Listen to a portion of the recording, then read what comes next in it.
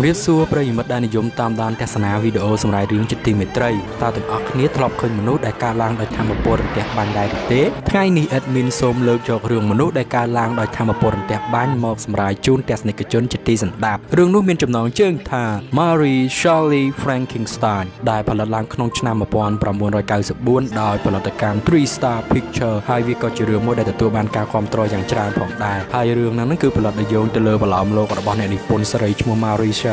ដែលគាត់ហ្នឹងគឺជាអ្នកនិពន្ធស្រីដ៏ល្បីល្បាញមួយរូបនៅក្នុងតំបន់អឺរ៉ុបហើយរឿងត្រូវបានផលិតមកជាច្រើនដងច្រើនសារហើយ Frankenstein អ្នកណាក៏ស្គាល់គាត់ដែរប៉ុន្តែភាគច្រើនដែលស្គាល់គាត់ហ្នឹងច្រើនគាត់ថាគាត់ហ្នឹងគឺជាមនុស្សអាក្រក់អីចឹងណាប៉ុន្តែបានដឹងពីអាដានកំណើតរបស់គាត់ហ្នឹងថាគាត់កាត់ឡើងដោយរបៀបណានោះទេហើយលើពីនេះទៀតហ្នឹងគេបានបញ្ចុះគាត់ទៅនឹង Frankenstein ជាមួយនឹង Four មេសាញជក់ជាមដូចជារឿងសន្តាគារបិសាចដែរទាំងអស់គ្នាប្រកាសជាបានឃើញត្រូវអត់ដូច្នេះចង់ដឹងថាតើដំណើររឿងរបស់ Mary Shelley Frankenstein ឬក៏មនុស្សធម្មពលរន្ទះបាញ់ហ្នឹងវាមានដំណើររឿងយ៉ាងណាសូមកុំភ្លេចទៅចុច Subscribe និងដាក់រូបកណ្ដឹងឲ្យប៉ុស្តិ៍សម្រាប់រឿង Studio ហើយយើងទៅសម្រាប់លម្អិតអំពីដំណើរនៃការបង្កើតមនុស្សដែលប្រើធម្មពលរន្ទះបាញ់ទាំងអស់គ្នា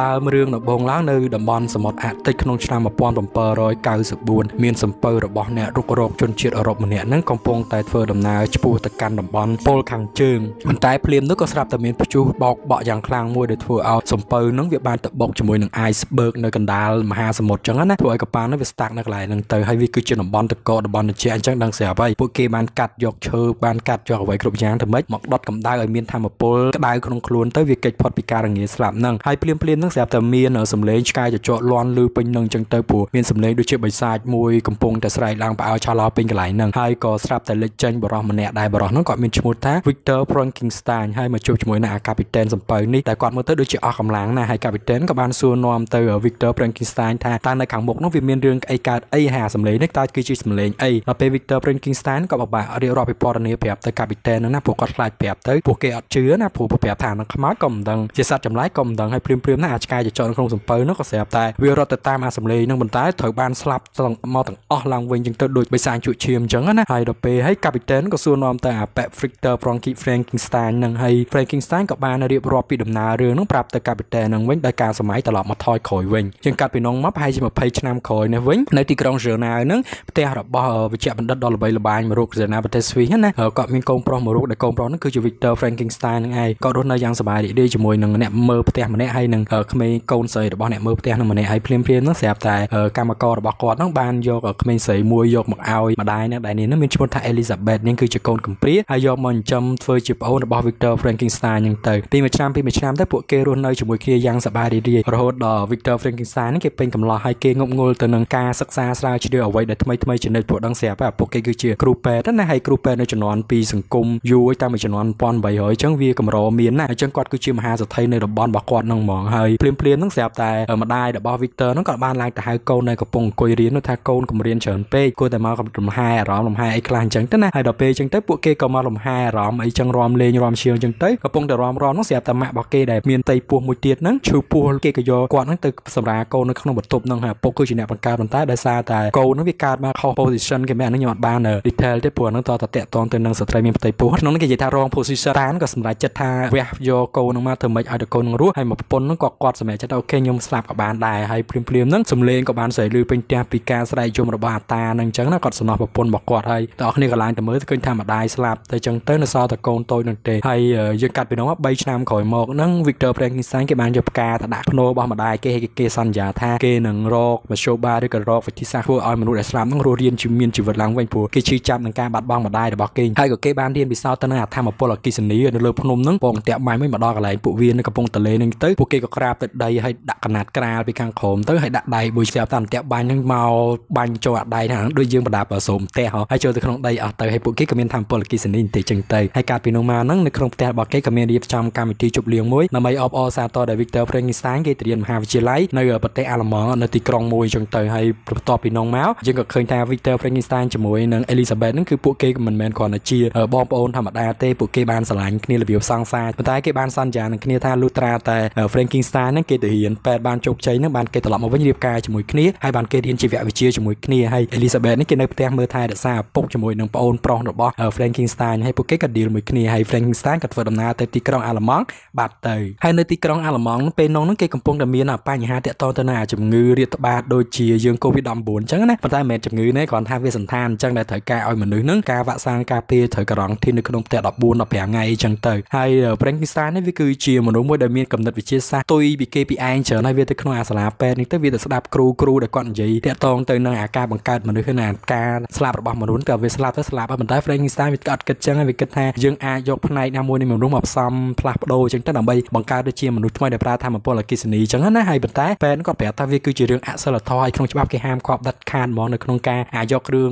ក្នុងរបស់មនុស្សម្នាក់ម្នាក់យកមករួមផ្សំរបស់មនុស្សម្នាក់ទៀតដើម្បីឲ្យអាមនុស្សម្នាក់ផ្សេងនឹងវារស់អញ្ចឹងអាហ្នឹងស្ទាក់តទៅនឹងវិទ្យាសាស្ត្រដែលគេកាត់ដូរកលៀនដូរថ្លើមដូចដែលយើងតបលើពីអាចារ្យអារាមនឹងមកណាដល់ពេលហើយពេទ្យដែលជាគ្រូនោះគាត់ប្រាប់ថាអត់អាចធ្វើអញ្ចឹងវាខុសច្បាប់ប៉ុន្តែ Frankenstein គេនៅតែ keep រឿងនៅក្នុងចិត្តរបស់គេចំណេះហើយព្រាមព្រាមហ្នឹងគេក៏បានជួបមិត្តភក្តិគេម្នាក់ម្នាក់ហ្នឹងឈ្មោះ Henry ដែលគាត់ក៏ support ទៅនឹងគំនិតរបស់ Frankenstein ដែរប៉ុន្តែមើលទៅប្រហែលជាម្នាក់ហ្នឹងក្រអត់ជាង Frankenstein អញ្ចឹងណាអញ្ចឹងមានគំនិតបើអត់មានលុយគាត់ធ្វើអេតការដែរហើយគាត់ក៏បានទៅជួបនឹងដុកទ័រម្នាក់ទៀតដែលដុកទ័រហ្នឹងគឺមានគំនិតដូច Frankenstein អញ្ចឹងរបៀបវិទ្យាសាស្ត្រដែលចំឆ្នៃបង្កើតធ្វើម៉េចឲ្យមនុស្សដែលស្លាប់ហ្នឹងមកអាចរស់ឡើងវិញដោយប្រើធម្មពលអគិសនីហ្នឹងហើយពួកគេក៏បានទៅមើលនៅក្នុងបន្ទប់របស់សាស្ត្រាចារ្យនិងសាស្ត្រាចារ្យហ្នឹងក៏បានបង្ហាញអាការពិសោធន៍របស់គាត់មួយដែលគាត់ពិសោធន៍ទៅលើស្វាឪហើយដល់ពេលគាត់ចាប់អគិសនីចុះឡើងចុះឡើងទៅគាត់ធ្វើឲ្យស្វាហ្នឹងវាមានចលនាហើយចាប់តែ Henry ឡើងជាប់ប៉ុន្តែគាត់អត់ដឹងថាធ្វើម៉េចដើម្បីឲ្យអាស្វាហ្នឹងវាត្រឡប់មកធម្មតាវិញណាស្រាប់ដល់ពេលអា Frankenstein វាទៅចាប់អាដោយក្បាលអង្គុយកន្លែងណាមួយទៅធ្វើអាហ្នឹងលែងមកហើយក៏គិតថា Frankenstein នេះគឺជាមនុស្សដែលវាមាន talent មានជំនាញរបស់វាមែនប៉ុន្តែឈរនៅលើគោលការណ៍មនុស្សធម៌ហើយនិងគោលការណ៍ដែលយើងហៅថាខុសច្បាប់ហ្នឹងតាហ្នឹងក៏ប្រាប់ថាយើងអាចបន្តអាការ research នេះជាបន្តទៀតទេដើម្បី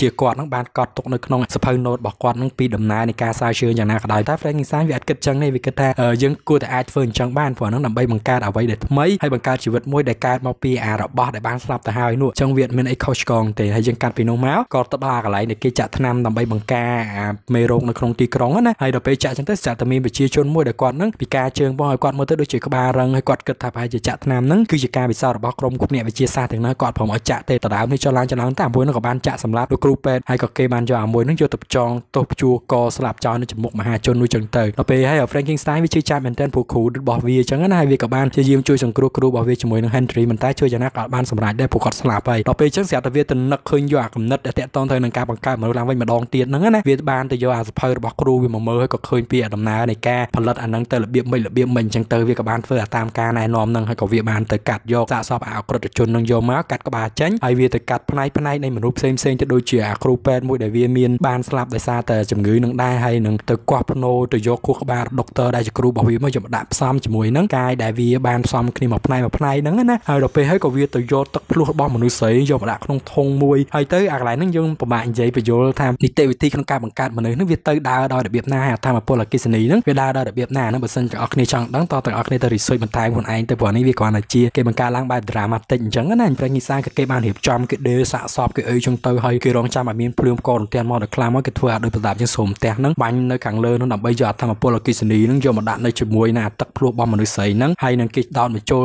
ទៅគ្រប់ផ្នែកសំខាន់សំខាន់នៃរាងកាយរបស់មនុស្សបានល្អត្រឹមត្រូវតែមួយរយៈពេលនេះគឺគេងប់ងល់ខ្លាំងមែនទែនហើយគេអាចបានសរសេរសម្បត្តិផ្ញើទៅអេលីសាបេតហើយនឹងពុកម្ដាយរបស់គេនៅទីក្រុង Zurich នៅទីដែលធ្វើទាំងអស់គ្នានឹងព្រួយបារម្ភយ៉ាងខ្លាំងហើយព្រាមព្រាមនឹងអេលីសាបេតក៏បានជួបនិយាយជាមួយនឹងអ្នកបម្រើស្រីក្នុងផ្ទះតែពិតម្នាក់ហ្នឹងស្រឡាញ់ Frankenstein តែដល់ថាខ្លួនឯងអ្នកជាអ្នកបម្រើអញ្ចឹងណាអញ្ចឹងក៏ក៏បានជំរុញទឹកចិត្តថាអេលីសាបេតត្រូវតែមកតាមរក Frankenstein នៅប្រទេសអាល្លឺម៉ង់នេះអេលីសាបេតហ្នឹងក៏មកដល់ទីក្រុងហ្នឹងហើយក៏បានទៅរក Frankenstein នៅគណៈពេលហ្នឹងទីក្រុងកំពុងតែមានជំងឺរាតត្បាតហ្នឹងហើយដល់ដំបូង Frankenstein ចង់ឲ្យនាងមកជួបទេព្រោះខ្លាចឃើញរូបភាពហ្នឹងអញ្ចឹងណាព្រោះ Elizabeth ក៏បានដឹងពីអាកម្រងរបស់ Frankenstein ហ្នឹងដែរប៉ុន្តែ Elizabeth ចូលមកដល់ក៏វាឃើញអារូបភាពដែលវាមើលទៅអញញ៉ៃអញ៉ៃហើយធម្មតាពួកអ្នកវិទ្យាសាស្ត្រវាខ្ជិលគិតតែធ្វើការបានសម្អាតខ្លួនទៅ Elizabeth មើលទៅថាចុះមិនបានបងឯងទៅជាអញ្ចឹងព្រោះពីមុនធ្លាប់តែជាបរិសសង្ហាជាកូនប៉ែតហើយមកដល់ឥឡូវក៏ទី Elizabeth ថាបងទៅយើងត្រឡប់ទៅផ្ទះវិញឥឡូវពងមានជំងឺអីថា Frankenstein វាថាវាអត់ទៅទេវានៅមានការងារដែលត្រូវធ្វើហើយ Elizabeth ក៏សួរបញ្ជាក់ថាលោកបងឯងទៅមិនទៅបើមិនទៅទេយើងដាច់គ្នាហើយ Frankenstein ក៏វាអត់មានជំរឿដែរ Elizabeth ក៏បានរត់ចេញពីខាងហ្នឹងបាត់ទៅជប់ហ្នឹង Frankenstein ក៏គេបានទៅពិសោធន៍ជាមួយនឹងអាខ្មោចហ្នឹងដល់ពេលគេ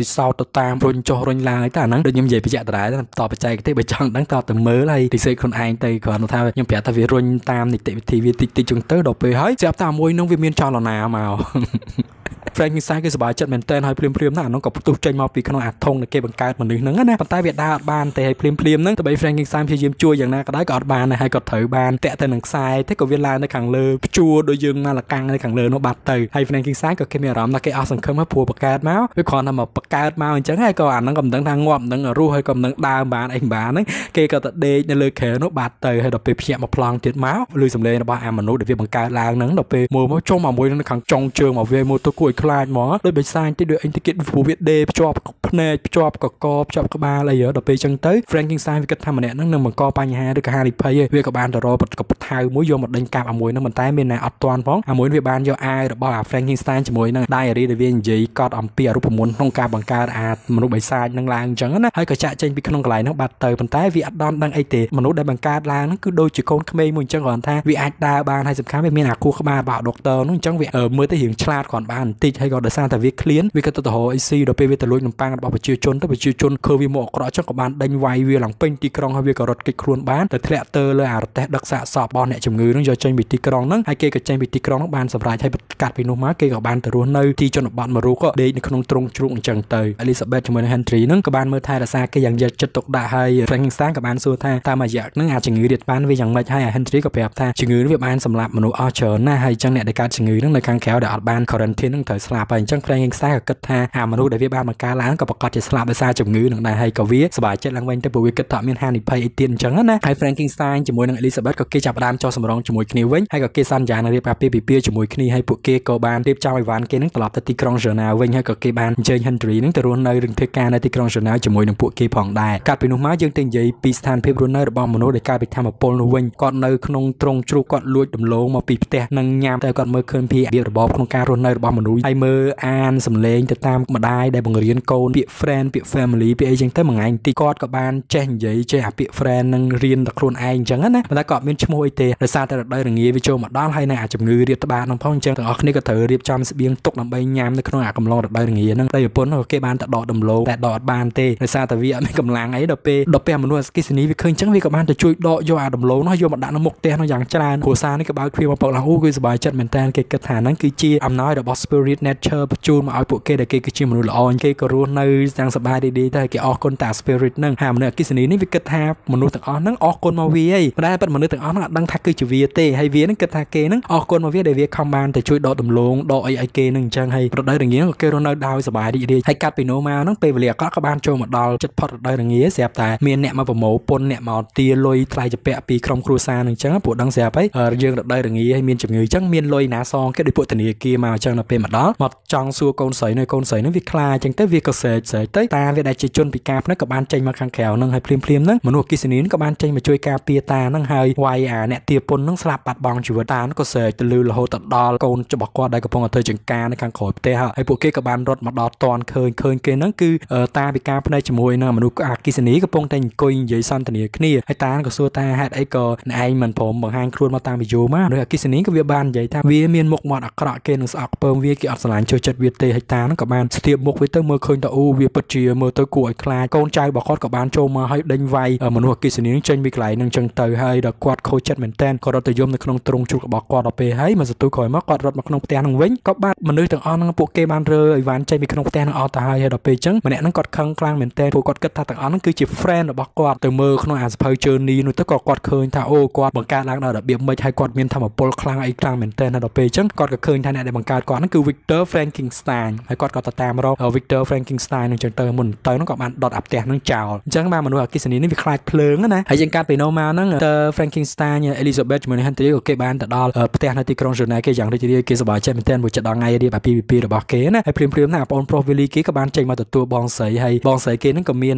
ខ្សែកមួយរូប Frankenstein ឲ្យទៅប្អូនរបស់គេទៅពេលអញ្ចឹងគេគេថាឥឡូវខ្ញុំសុំទៅរត់លេងនៅម្នាក់ឯងនៅខាងនោះហើយគេក៏បានទៅរត់លេងអញ្ចឹងទៅហើយខណៈពេលដែលរត់លេងក៏បានជួបជាមួយនឹងមនុស្សអគិសនីមនុស្សអគិសនីក៏បានយកអាខ្សែកហ្នឹងហើយក៏បានសម្លាប់អាកូនហ្នឹងចោលបាត់ទៅហើយនៅក្នុងបន្ទប់នេះវិញគេដែលកំពុងអឡសម្លៀកបំពាក់ពីពីនេះគ្រប់គ្នាផ្អើលឆាឡោមែនទែនព្រោះបាត់អាកូនក្មេងនឹងយូរដល់ពេលហើយកូននោះនេះចេញដើររកគ្រប់ទីកន្លែងហើយ Frankenstein ទីក៏បានជិះសេះមកដល់ដែរហើយក៏បានចេញទៅជួយរកជាមួយនឹងអ្នកផ្ទះទាំងអស់ចឹងទៅហើយម្នាក់ស្រីដែលជាអ្នកបម្រើហើយក៏ដូចជាមេដោះរបស់វីលីនោះបានទៅតាមរកមួយកូននោះគ្រប់ទីកន្លែងរហូតក៏នាងឡើងទៅលើភ្នំនោះវាអស់កម្លាំងខ្លាំងពេកក៏ទៅដេកនៅក្នុងបន្ទប់ច្បារមួយទៅហើយមនុស្សអគិសនីក៏បានចូលទៅក្នុងនោះឃើញម្នាក់នឹងដេកហើយមើលទៅម្នាក់នឹងស្អាតវាក៏ស្រឡាញ់ហើយវាក៏បានទម្លាក់អក្សរកវីលីទៅលើម្នាក់ស្រីហ្នឹងហើយដល់ពេលហើយកាត់ពីនោះមកហ្នឹងអេលីសាបេតក៏បានរកឃើញសាកសពវីលីនដែលត្រូវបានគេច្បាច់កសម្រាប់អីចោលចឹងទៅហើយពួកគេក៏បានរៀបចំធ្វើពិធីបុណ្យសោកសង្រេងហើយពុករបស់វីលីក៏គាត់កើតទុកដែលពីមុនស្លាប់ប្រពន្ធឥឡូវស្លាប់អាកូនតូចនេះទៀតហើយថ្ងៃហ្នឹងគឺជាថ្ងៃដែលកូនត្រឡប់មកពីទីក្រុងហើយក៏ចិត្តដល់ថ្ងៃរៀបអាពាហ៍ពិពាហ៍វាមិនគួរណាមានរឿងអាក្រក់កើតឡើងចឹងសោះហើយរំពេចនោះស្រាប់តែប៉ូលីសគេគួតទ្វារមកប្រាប់ថាគេចាប់បានអ្នកដែលធ្វើទរណកម្មហ្នឹងហើយគឺជាម្នាក់ស្រីដែលជាមេដោះរបស់កូនហ្នឹងហើយដល់ពេលព្រាមព្រាមហ្នឹងទាំងអស់គ្នាក៏បានរត់តាកន្លែងដែលគេប្រងកាត់ទោសប្រហារជីវិតព្យួរកម្នាក់ស្រីហ្នឹងណាហើយម្ដាយរបស់ម្នាក់ស្រីហ្នឹងគាត់ឈឺចាប់សង្រេងមែនទែនក៏គាត់មានតែកូនស្រីម្នាក់ហ្នឹងណាប៉ុន្តែដោយសារតែពួកគាត់គឺជាអ្នកបម្រើទេពួកគាត់ស្ូវបានមានពេលវេលាបែបលហាមជាមួយគ្នាស្រឡាញ់គ្នាខ្លាំងទេហើយដល់ពេលចុងគេក៏បានចាប់ម្នាក់ស្រីហ្នឹងចងព្យួរកអូមូលហើយហ្នឹងមើលទៅសាហាវកាលពីជំនាន់សង្គមណាពួកគេអត់តន់រកឃើញអាថាពីណាគឺជាគិតកោអីត្រឹមត្រូវប៉ុណ្ណឹងហើយដល់ពេលអញ្ចឹងទៅជាម្នាក់ស្រីក៏ស្លាប់បាត់ទៅទាំងអស់គ្នាក៏បានត្រឡប់មកដល់ផ្ទះវិញហើយ Frankenstein ហ្នឹងវាមានអារម្មណ៍ថាវាសង្ស័យប៉ុន្តែក៏វាអត់តន់ហ៊ានថា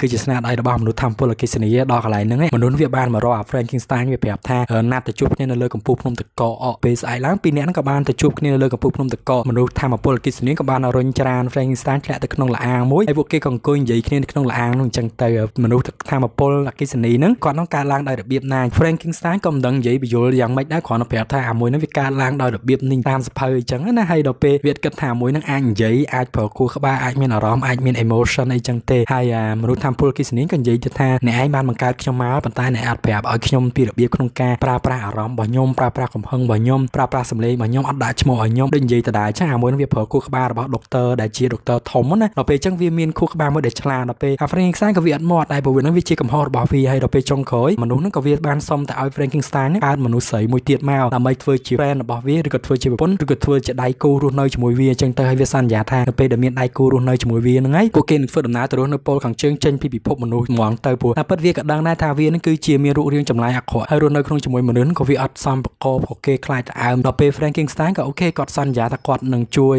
បង្កើតមនុស្សមួយទៀតឲ្យអ្នកឯង Frankenstein ក៏បានធ្វើដំណើរមកដល់ផ្ទះវិញហើយ Elizabeth បានសួរទៅគេថាតើមានរឿងអីតើបរិសម្នាក់នោះគឺជាណាគេហើយគាត់ចង់បានអី Frankenstein ក៏ប្រាប់ថាវាអត់តន់ដល់ពេលដែលបងត្រូវប្រាប់បងឯងទេពេលដែលកិច្ចការនេះបានសម្រេចបងនឹងប្រាប់បងឯងថាគាត់នឹងគឺជានរណាគេហើយគេក៏បានឡើងទៅរៀបចំអាម៉ាស៊ីនបង្កើតមនុស្សពីធម្មពលអកិសនីគេនឹងឡើងវិញចឹងទៅហើយមនុស្សអកិសនីក៏បានទៅយកសាកសពមនុស្សស្រីដែលជាបាវបម្រើរបស់គេនឹងយកមកឲ្យ Frankenstein នឹងបង្កើតទៅជាមនុស្សអកិសនីសម្រាប់គេរស់នៅជាមួយគ្នាតែពីរនាក់ប៉ុន្តែ Frankenstein គេបានប្រកែកថាគេអត់យកម្នាក់ហ្នឹងមកបង្កើតទេគួរតែរកអ្នកផ្សេងមកហើយដល់ពេលមនុស្សអកិសនីក៏ថាអញ្ចឹងមានតែយក Elizabeth ឥឡូវវាជប់ធ្វើវាអត់បង្កើតមនុស្សណាឲ្យទៅនឹងមនុស្សអកិសនីប្រុសហ្នឹងទេហើយវាចុះតនោះខឹងយ៉ាងខ្លាំងហើយ Frankenstein ក៏បានរត់ចុះមកខាងក្រោមហើយទៅសុំវល់ Elizabeth ដល់ពេលហ្នឹងនាងខឹងហើយនាងក៏បានរៀបចំខោអាវរៀបចំបទរបស់នាងអីទាំងសម្លៀកបំពាក់ពីពីហ្នឹងចាក់ចេញពីផ្ទះហ្នឹងអញ្ចឹងទៅដល់ពេល Frankenstein ក៏សួរតើលើឯងទៅណាហើយម្នាក់ហ្នឹងក៏ថាទៅឆ្ងាយបាត់ពីមុខក្រុមគ្រួសារហ្នឹងអញ្ចឹងណាហើយដល់ពេល Frankenstein ដោយសារតែវាឮថាអាមនុស្សអគិសនីនេះវាចង់មកចាប់យក Elizabeth អញ្ចឹងវាក៏ថាឥឡូវយប់យប់ហ្នឹងយើងរៀបការជាមួយគ្នាភ្លាមភ្លាមហ្នឹងអញ្ចឹងទៅហើយចាំយប់ស្អែកហ្នឹងចាំយើងដោះស្រាយយើងចាក់ចេញពីហ្នឹងទៅទាំងអស់គ្នាហើយពួកគេក៏ព្រមរៀបការជាមួយគ្នាក៏បានទៅកន្លែងក្រែឪពុករបស់គេហ្នឹងឲ្យគ្រូសាសនាហ្នឹងប្រោះព្រំប្រសិទ្ធិឲ្យគេខ្លាចទៅជាប្តីប្រពន្ធស្របច្បាប់ទៅហើយភ្លាមភ្លាមហ្នឹងពួកគេក៏បាន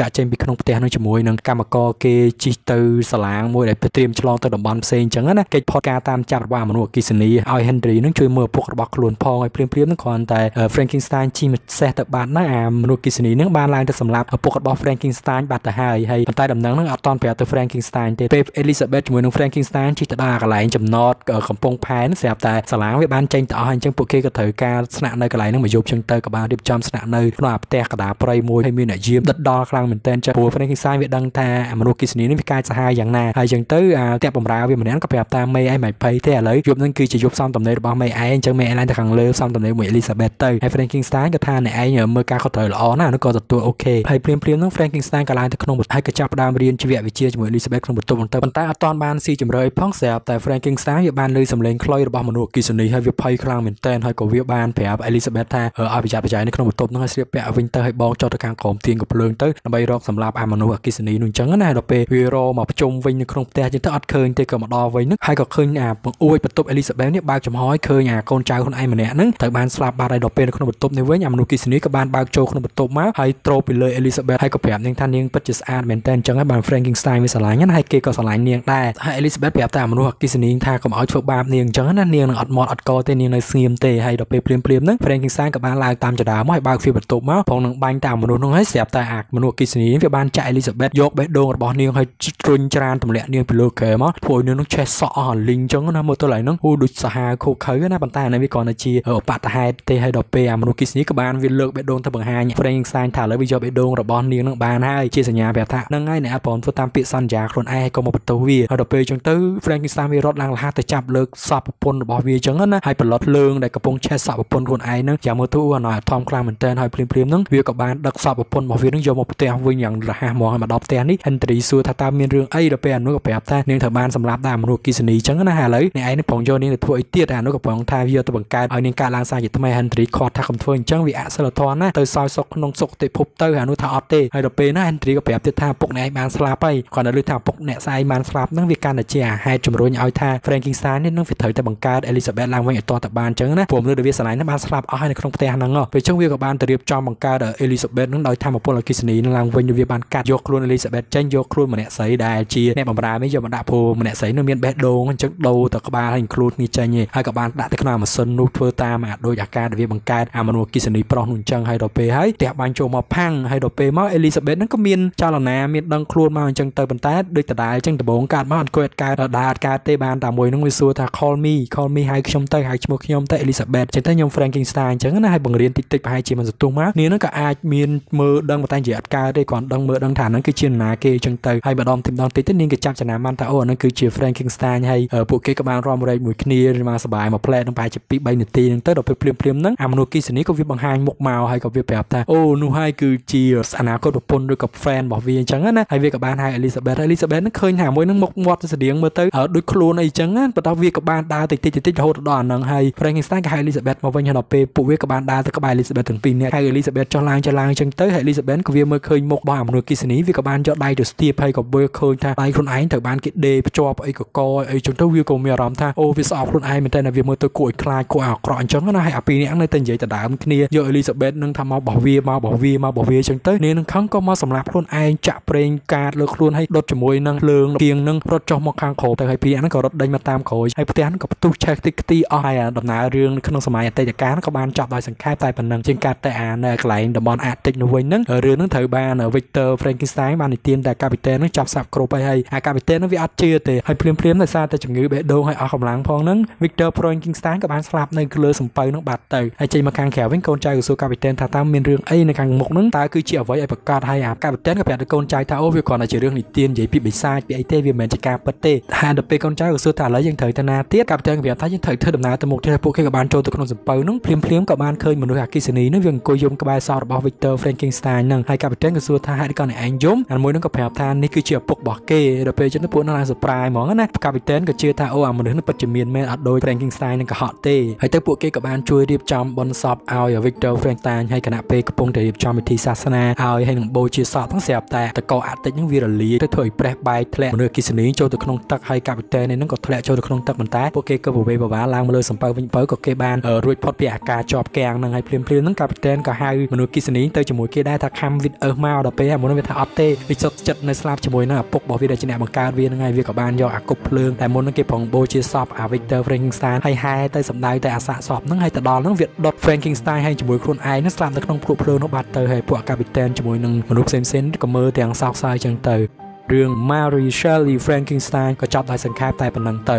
សម្រាប់ខ្ញុំរឿងនេះមានដំណើរអប់រំពិសេសមួយគឺត្រង់ថាមនុស្សមិនប្រកាសថារូបរាងខាងក្រៅនោះវាអាក្រក់ចិត្តខាងក្នុងនោះអាក្រក់ទេសំខាន់ណាបរិយាកាសខាងក្រៅហ្នឹងតែបង្រៀនឲ្យមនុស្សហ្នឹងខ្លាចទៅជាមនុស្សបែបណាដូចជាឈុតដែលមនុស្សគិសនីវាទៅរស់នៅជាមួយនឹងគ្រួសាររបស់បរិះក្រីក្រកដាប្រៃអញ្ចឹងណាគឺដំបូងវារៀនសូត្រពីអំពើល្អល្អរបស់អ្នកទាំងអស់ហ្នឹងប៉ុន្តែដល់ពេលចុងក្រោយវាទទួលបានអាការជឿចាប់ពីអ្នកទាំងអស់ហ្នឹងដែលធ្វើវាហ្នឹងខ្លាចទៅជាមនុស្សកាចសាហាវហើយលើពីនោះទៀតហ្នឹងអាកិច្ចវិទ្យាសាស្ត្រហ្នឹងមិនប្រកាសថាមានប្រយោជន៍សម្រាប់មនុស្សជាតិទាំងអស់ទេកិច្ចខ្លះហ្នឹងវាបង្កើតឡើងហ្នឹងគឺវាបង្កហានិភ័យដោយជាកិច្ចរបស់ Victor Frankenstein វាបានបង្កើតមនុស្សអគិសនីហ្នឹងមកអញ្ចឹងហើយដល់ពេលវាបង្កើតមកហ្នឹងប្រឹងតែរក្សារបស់ហ្នឹងហើយវាបោះបង់របស់ហ្នឹងចោលអញ្ចឹងទៅធ្វើឲ្យរបស់ហ្នឹងវាខ្លាយទៅជាហានិភ័យសម្រាប់ខ្លួនឯងក៏ដូចជាក្រុមគ្រួសាររបស់គាត់ហើយក៏ដូចជាអាសង្គមជាតិរបស់គាត់ទាំងមូលអញ្ចឹងទៅហើយដោយក្តីស្រឡាញ់ពីចម្ងាយហើយបើទាំងអស់គ្នាមានចំណងជើងរឿងប្លែកៗហើយចង់ខ្ញុំសម្រាប់ស្ដាប់ទៀតកុំភ្លេច comment ប្រាប់ខ្ញុំផងជាចុងក្រោយកុំភ្លេចចុច subscribe និងដាក់សញ្ញារូបកណ្ដឹងឲ្យប៉ុស្តិ៍សម្រាប់រឿង Studio ជម្រាបលាបាយបាយ